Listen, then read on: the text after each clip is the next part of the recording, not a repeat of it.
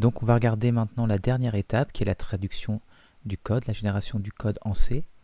Donc le générateur de code lui va prendre en entrée l'arbre syntaxique de mini-java, donc l'arbre syntaxique abstrait de mini-java, et va produire le fichier C, donc qui représentera la traduction du fichier mini-java de départ et jusqu'à notre traduction en langage C. Alors on va regarder deux programmes, la factorielle, ici on va calculer une factorielle, la factorielle de 10 et on a la méthode récursive qui nous permet de calculer la factorielle ici. Donc maintenant on va compiler. Donc on compile factorial, donc normalement tout va bien se passer, on va bien avoir la génération du code en C. Donc si on regarde, il y a un fichier qui vient d'être produit ici. Donc la traduction du programme mini Java d'origine en un fichier en langage C. Et si on regarde cette traduction, je ne vais pas rentrer dans les détails maintenant, mais donc ici c'est notre programme d'origine en Java, en mini Java. Et là la traduction, donc on peut retrouver la, la fonction factorielle ici, la méthode factorielle. Alors on voit qu'elle prend en entrée un deuxième paramètre par rapport au seul paramètre qu'il y avait ici. Ça va être le ZIS en fait, donc l'objet courant. Et sinon là la traduction des if, else, c'est la même chose. Sauf on a une petite construction ici. Mais je ne vais pas rentrer dans les détails maintenant. On verra tout ça par la suite. Donc si on exécute, maintenant pour exécuter, en fait, bah, il faut utiliser un compilateur C. Donc par exemple GCC, notre fichier qui a été transpilé, le résultat de la transpilation. Et en exécutant le fichier produit par GCC, on obtient bien ici la factorielle de 10. Alors on va prendre un dernier exemple avec le fichier extends où il y a des classes cette fois-ci. Donc on va, on va voir la représentation en fait de la classe A, classe B qui est en A et de la classe C qui est en B. Et on a un exemple ici de,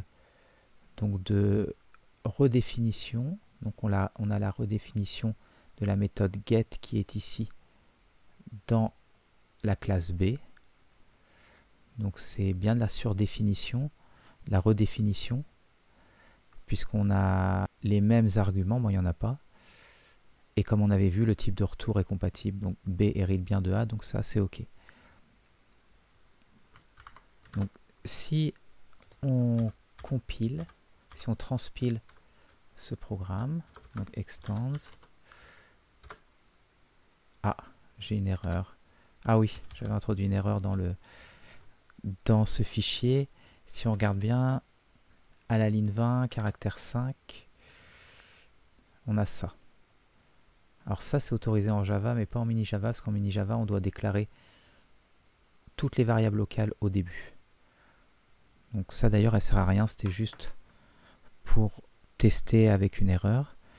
Donc, on va juste, du coup, supprimer cette ligne-là.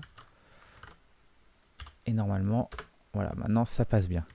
Donc si on regarde la traduction, donc extends.c, donc toujours le fichier d'origine en commentaire, et là on peut voir apparaître les classes. Donc ici on voit la déclaration de trois classes qui sont des structures maintenant. Encore une fois, je ne vais pas rentrer dans les détails. Et on voit ici mais je vais quand même vous donner quelques infos. Ici, on voit la méthode get de la classe A et avec son this ici. Donc un nouveau paramètre qu'on rajoute par rapport... Voilà, ici, il n'y avait rien. Et la transpilation va, créer justement cette fonction en C avec un paramètre additionnel qui est le this. Et là, on voit les définitions des différentes classes. Donc on peut reconnaître l'attribut, la classe A. Donc ici, on avait voilà l'attribut ici. et quelque chose là qui s'appelle la VTable pour Virtual Table, qui va nous permettre de gérer la liaison dynamique. Donc en fait, on va introduire un niveau d'indirection. D'ailleurs, en info, souvent un niveau d'indirection permet de résoudre pas mal de problèmes. Et elle est remplie ici. et la déclaration des, des VTable se fait ici. Donc là, on a un tableau de pointeurs de fonctions avec le get de la classe A, le init de la classe A et le print de la classe A. Et la même chose ensuite pour les autres classes. Alors on verra par la suite que la place dans ce tableau-là est vraiment importante. Mais je ne vais pas détailler euh, plus que ça maintenant. Donc là encore une fois, on a un fichier qui vient d'être ajouté. Donc le fichier extends.c. Et si on le compile, donc cette fois-ci tout devrait être bon. On obtient un exécutable. Donc on va pas regarder à quoi ça correspond cette sortie, pourquoi il y a cette sortie, mais c'est la sortie du programme. Donc c'est la sortie correcte du programme. Ok, donc voilà, on a, on a la vue d'ensemble de notre euh, transpiler, ou compilateur source à source. Et euh, dans la suite, je vais détailler le code de chacune des parties.